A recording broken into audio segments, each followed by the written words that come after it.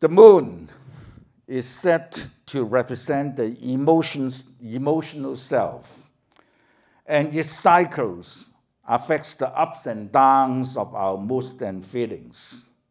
Poets like to write about moon. I would like uh, Hitomi to read out these two haiku poems on moon written by Basho.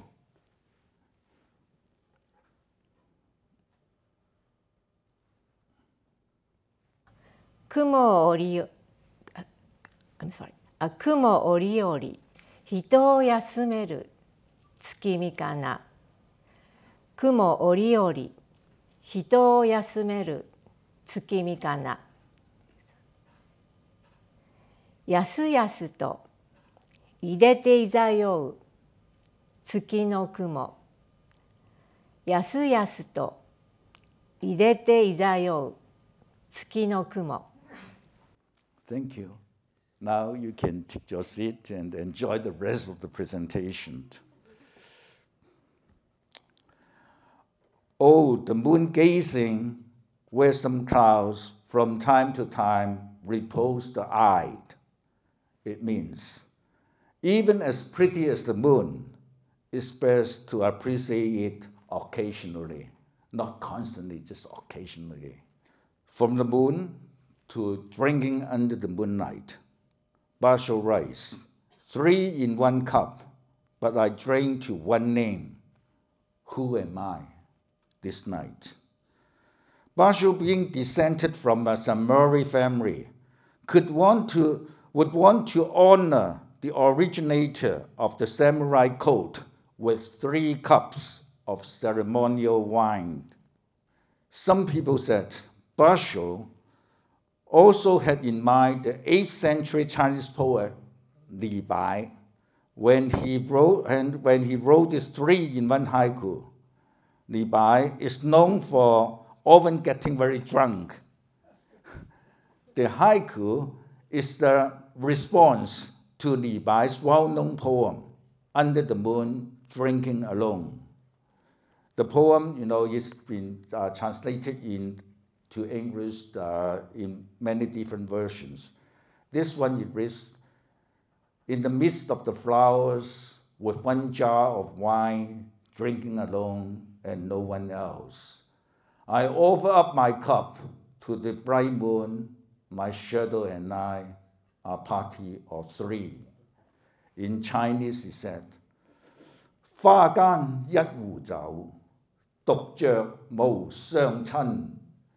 舉杯邀明月，對影成三人。You know, that's the Chinese way to read this poem. Born near Kyoto, Basho made about 1,000 haiku poems throughout his lifetime while traveling around Japan. He missed Kyoto, and he wrote, even in Kyoto, hearing the cuckoo's cry, I long for Kyoto. This is a poem about memories and nostalgia, and probably more importantly, it tells us that the origin of suffering is attachment. Among Basho's haiku poems, this one is the easiest to understand. First day of spring, I keep thinking about the end of autumn. You can write it we don't need Vivian support or Arlene support. You know, this one is, you know, straightforward and easy. But just within these few words, you know, you can, I, I hope you could appreciate the meaning behind. Shuk, uh, Shiki, Shiki is in one of the Greek four, is regarded as the major figure in the development of modern haiku poetry credited with writing nearly 20,000 stanzas during his short lifespan of 35 years. He only lived for 35 years. I like so much to match this beautiful picture taken by my friend Andy. Andy is here. Yeah, I like this picture very much because I think it matched 100% with the haiku here a summer, a, a summer shower, the rain beats on the heads of the carp. After killing a spider, how lonely I'm feeling the cold of night. After killing a spider, the haiku writer doesn't improve his situation whatever. Instead, he's left even lonelier than he was. The lesson has a great deal to share. The poem suggests it doesn't mean the spider is without value. By killing the spider, the writer removed the one companion he had in his loneliness. This picture of spider web was taken in my garage. Standing under this pine tree, I'm a drop of dew.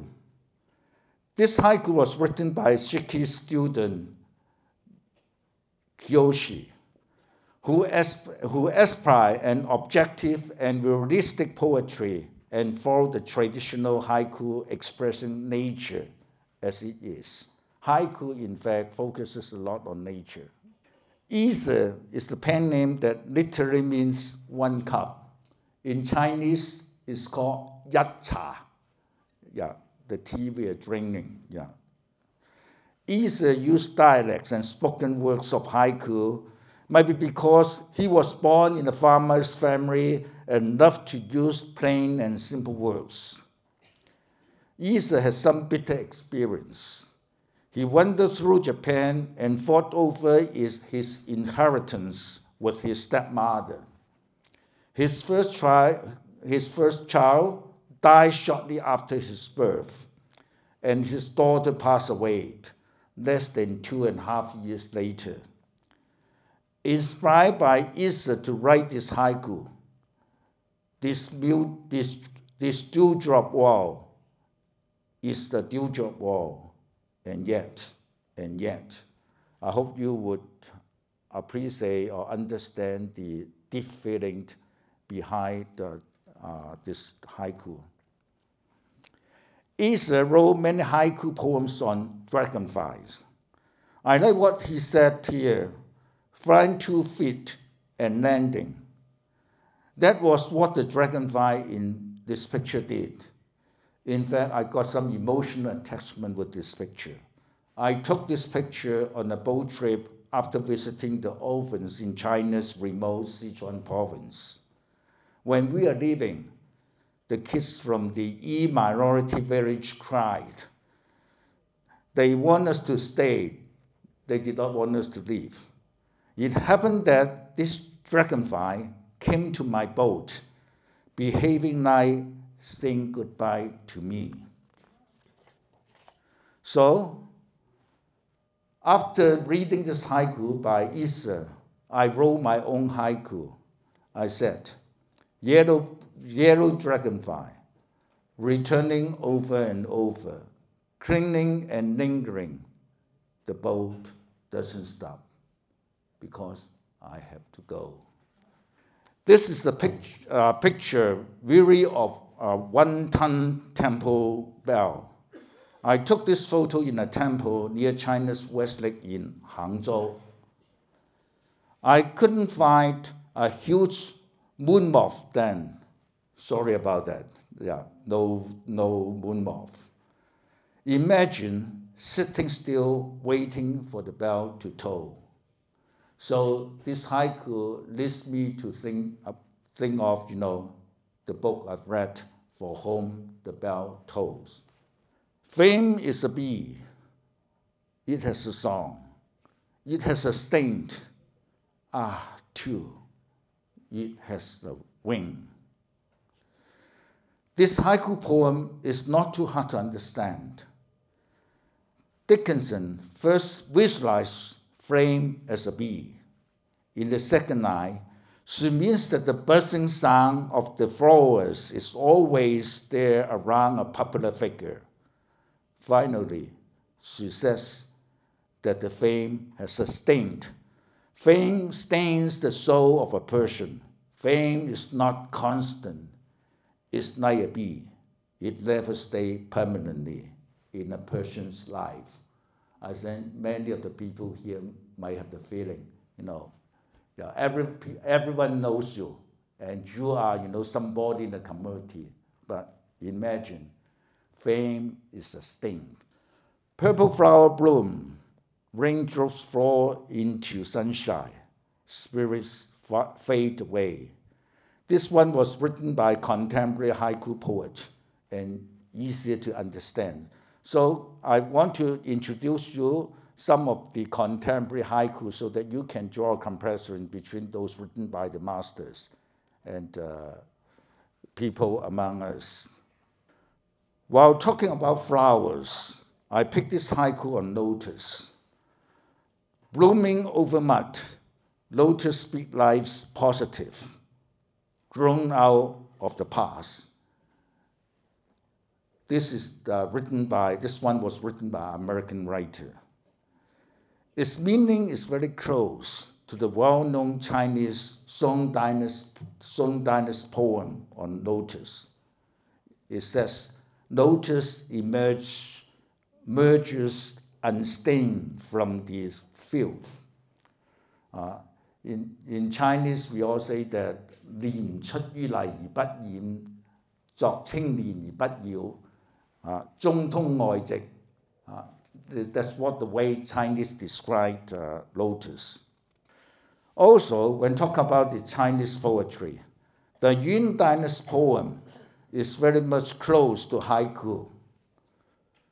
For, for example, this one, vine, old tree, cross at dusk, tiny bridge, floating brook, and cottages, all in very short works. Ancient road, brick wind, bony steed, the sun singing west, and one with broken heart farther away from home. I like this picture of China's Great Wall. This is a contemporary haiku. Great Wall of China stretching thousands of long miles, timeless, faultless walls. But I, after reading this one, I'm thinking I want to change the last word here to make it read Timeless fortress falls. Nothing can last forever. Even the greatest fortress will fall. This one was written by Billy Collins, who is described as the one of the best formal haiku poets uh, in America. I took this picture in a farm in Portugal during a beautiful summer day, showing two dragon-like clouds fighting against each other. I think the picture fits this haiku well.